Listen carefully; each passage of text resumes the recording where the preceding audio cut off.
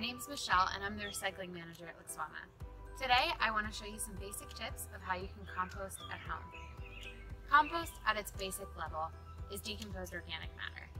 The bacteria and fungi help break down the dead materials into nutrients for healthy new plant growth. Compost also helps the soil retain moisture and reduces the need for chemical fertilizers. Gardeners often call compost black gold because it's so rich in nutrients. Compost requires three basic ingredients. Your browns, which are your carbon-rich materials like dead leaves, sticks, and twigs.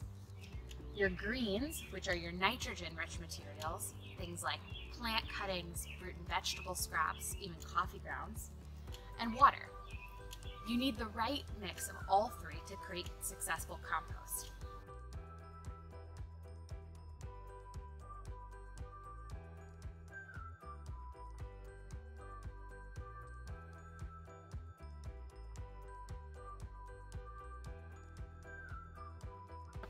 To get started, you'll need a three foot by three foot area in your backyard uh, for a bin or a pile.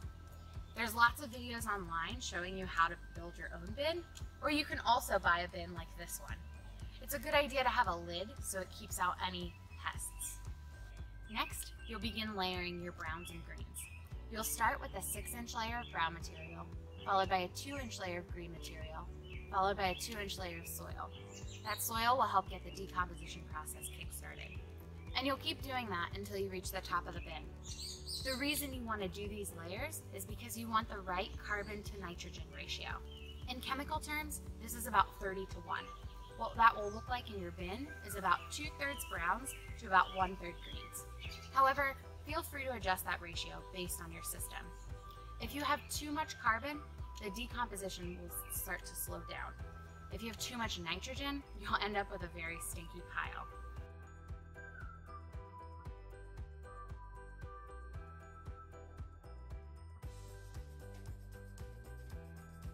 Next, you'll want to turn your compost. Incorporating oxygen is vital to the entire process.